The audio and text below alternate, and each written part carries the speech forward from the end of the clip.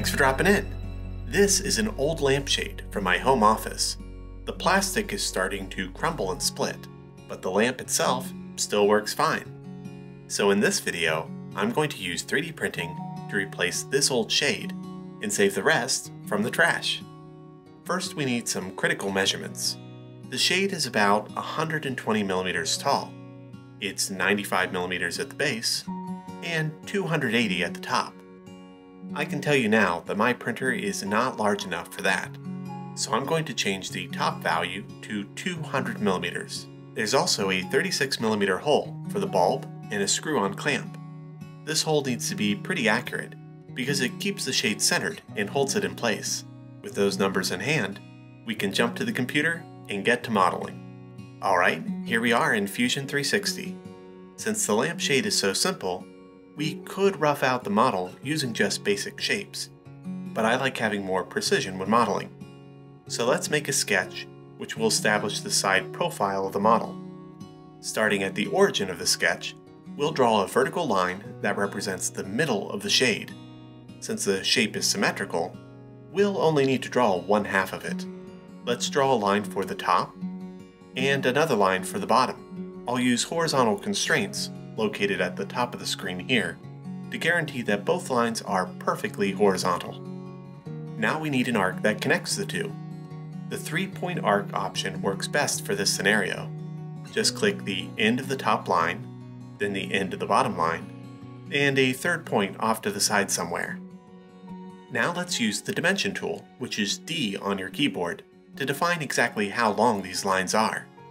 The top of the shade was 200 millimeters, I'll enter half of that, since we're only drawing one side of the profile. In the bottom of the shade was 95 millimeters. I'm going to be lazy and type 95 divided by 2. Like most CAD software, Fusion 360 will accept simple equations and variables, as well as exact values. Finally, let's set the shade's height, 120 millimeters. Most of the lines in our sketch have turned black, meaning they're fully locked in place. The arc, on the other hand, is still blue.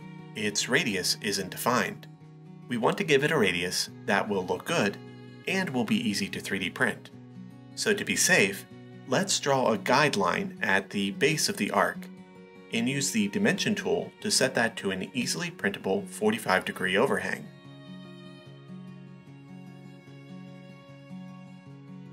Now we can use the tangent constraint to lock the arc to our guideline.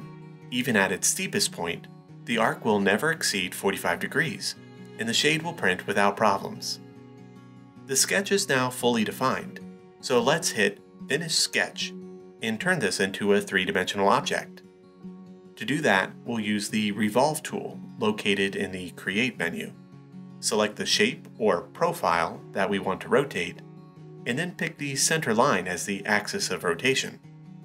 Okay, we're getting there, but the lamp is currently solid. To scoop that out, we can use the Shell tool located under the Modify menu. This handy tool hollows out solid objects and leaves the selected side open. Exactly what we need here. Let's click the top of the lamp and then tell Fusion 360 how thick we want the shade's wall to be. I'll set this to 1.6 millimeters which is exactly 4 perimeter walls when printing with a 0.4mm nozzle. Depending on how bright you want your light to look, or how translucent your filament is, you may want to set a thicker or thinner wall. Next, let's cut the center hole. While I could use the cylinder tool to punch the hole we need, it's come to my attention that I'm making a YouTube video and people will judge me. So I'm going to do this the proper way and create a new sketch which represents the top view of the shade. In the center of this sketch, we'll add a circle with a 36mm diameter. Next, let's use the extrude tool on that circle to punch the hole we need. That's it, a simple replacement shade. Time to print.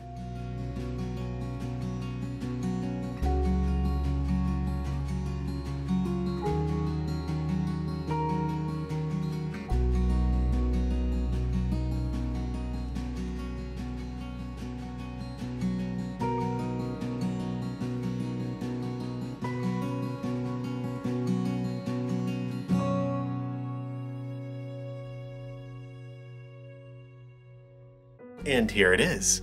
I printed this in Protopasta Stratocumulus HTPLA, which has a nice soft gradient to it.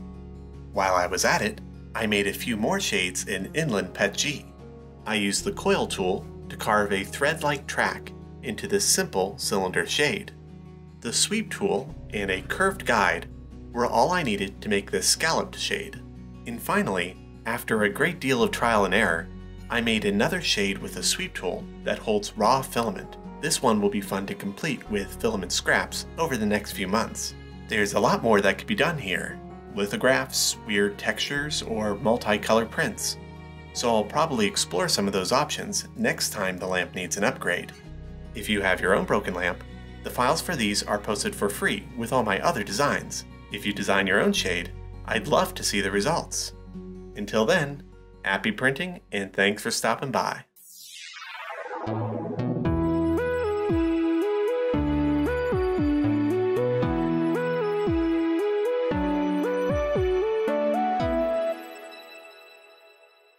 I printed this in Protopasta Stratocumulus. Protopasta Stratoto Stratocumulus. I printed this in Protopasta Stratocumulus. Protopasta Stratocum. And here it is. I printed this in Protopasta Stratocum. Protopasta Stratocum. And here it is. It looks like a cloud.